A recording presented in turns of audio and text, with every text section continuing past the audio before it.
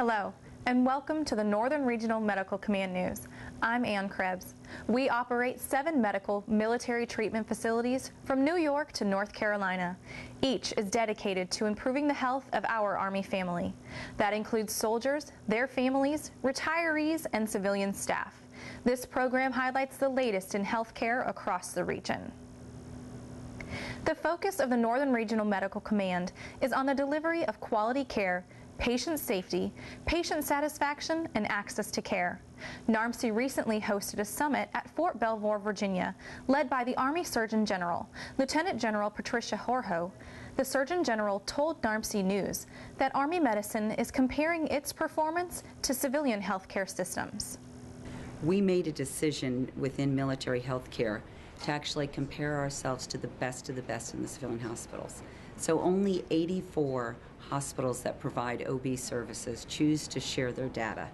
And we compared ourselves to those 84 out of 5,000 hospitals. In surgical care, only 10% of the hospitals that provide surgical care in the United States share their data. We compared ourselves to that 10%. So we compared ourselves to the best of the best because we asked America's sons and daughters to place themselves in harm's way. We should be leading in those areas. At Northern Regional Medical Command Military Treatment Facilities, Quality Care Chief Elaine Fleming says the Army medicine commitment translates to an intense focus on the patient. I want patients to to to um, know and to believe that we, we we hear you, we see you, and we're here for you. So that's what I that's what I'm hoping us becoming a high reliability organization will be to that patient. We care. We hear you, we see you, and we want to provide you with the best possible care that you can get.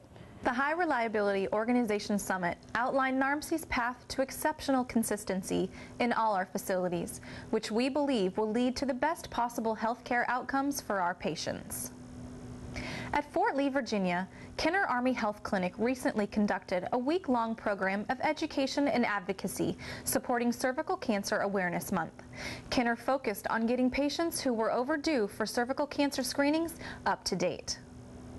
Since 2010, the Warrior Games have showcased the power of sports and competition in the rehabilitation of wounded, injured, and ill service members. The Northern Regional Medical Command will host its regional games February 9th through 13th. Athletes from across the region will compete in seven sporting events.